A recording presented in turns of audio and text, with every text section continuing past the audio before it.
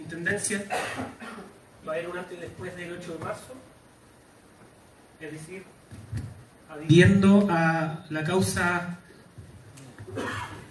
parece que no le dijeron, de la revolución.